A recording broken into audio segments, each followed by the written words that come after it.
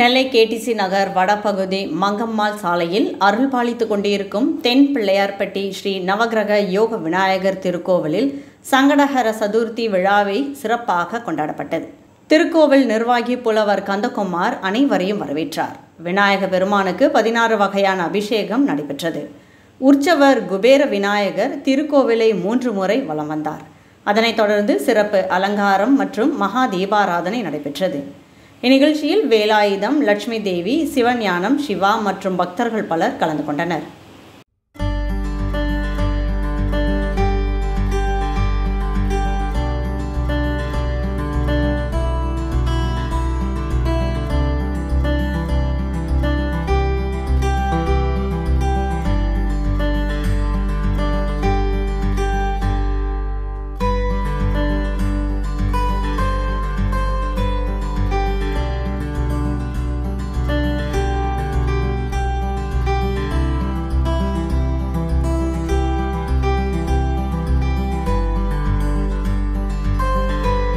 கணபதி கணபதி.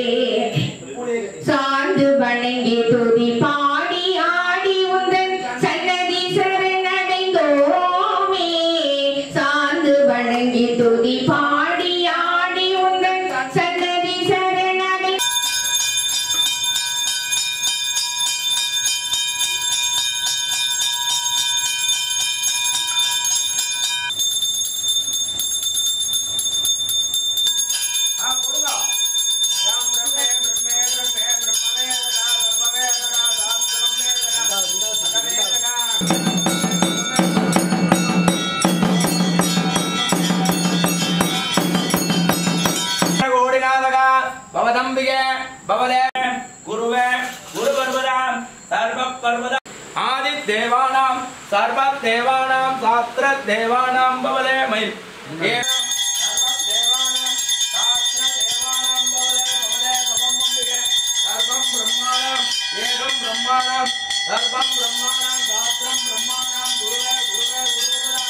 ஆதி தேவானாம் பிரம்மணம் சாஸ்திரம் பிரம்மாணம்.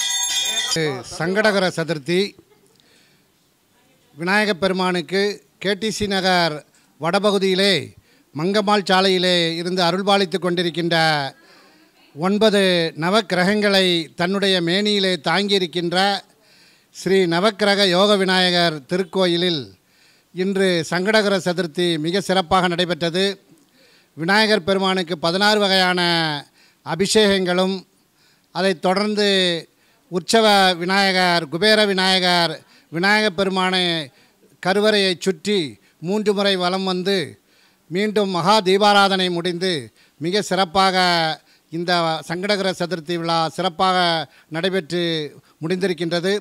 ஒவ்வொரு மாதமும் மிக சிறப்பாக ஜாதக கோளாறினாலே பாதிக்கப்பட்டவர்கள் கிரகதோஷத்தினாலே பாதிக்கப்பட்டவர்கள் திருமண தடை உள்ளவர்கள் வியாபாரம் மிக செழிப்பாக இருக்க வேண்டும் சிறப்பாக இருக்க வேண்டும் என்று எண்ணுபவர்கள் மற்றும் குடும்பம் சுபீட்சமாக இருக்க வேண்டும் என்று எண்ணுபவர்களெல்லாம் தங்களுடைய ஜாதகங்களினுடைய இரண்டு காப்பியை இந்த விநாயகப் பெருமானுடைய துதிக்கையிலே வைத்து வழிபட்டு அர்ச்சனை செய்து அவர்கள் ஒரு காப்பியை வீட்டிலே வைத்து பூஜை செய்ய வேண்டும்.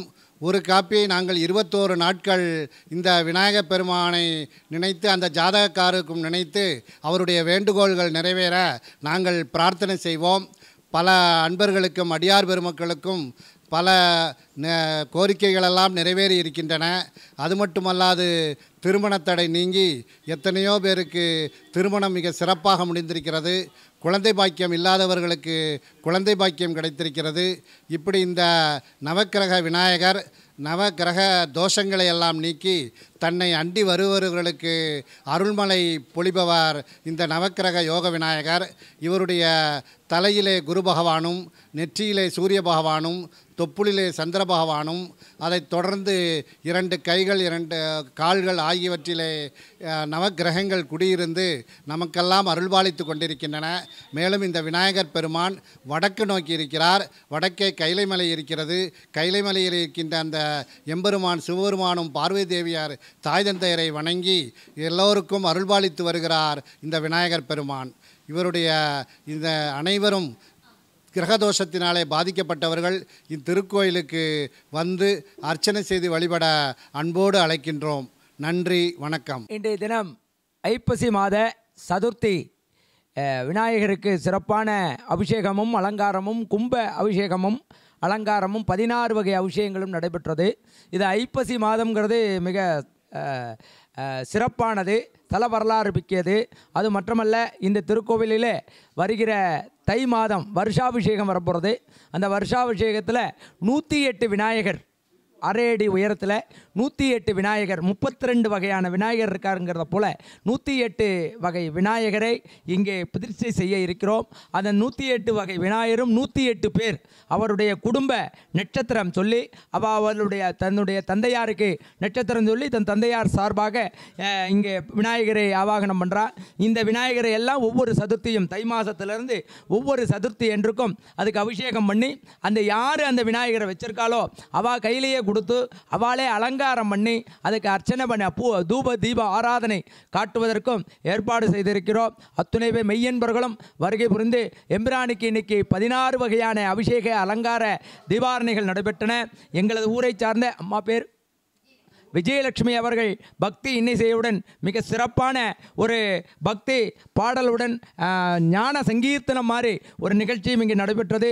இன்று பக்த கோடிகள் அனைவரும் கலந்து கொண்டு எம்பிரானுடைய அருளுக்கு பாத்திரமாகி இந்த எம்பிரானுடைய உள்ள அந்த திருக்கோவில் வளாகத்தில் எம்பிரானுடைய ஆ, உ- உலாவையும் ஏற்பாடு செய்திருந்தோம். மிக அருமையான முறையில் அதற்கு தக்கன எம்பிரான் மலையும் கொண்டு வந்தார் இன்னைக்கு. மிக சிறப்பாக இந்த சதுர்த்தி தின அபிஷேக ஆராதனை நடைபெற்றது. இது மாதிரி ஒவ்வொரு மாதமும் உண்டு. அத்துணை பெருமக்களும் வருகை புரிந்து எம்பிரானுடைய க- எம்பிரானுடைய அருளுக்கு பாத்திரமாகுமாறு உங்களை அன்போடு கேட்டுக்கொள்கின்றோம்.